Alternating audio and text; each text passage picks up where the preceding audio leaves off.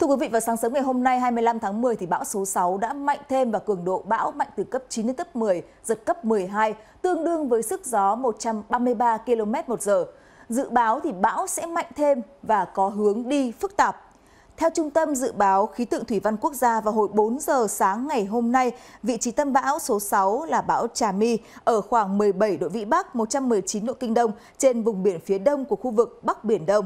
Sức gió mạnh nhất vùng gần tâm bão mạnh cấp 9, cấp 10, từ 75 đến 102 km một giờ, giật cấp 12. Tàu thuyền hoạt động trong các vùng nguy hiểm nói trên đều có khả năng chịu tác động của rông lốc, gió mạnh và sóng lớn.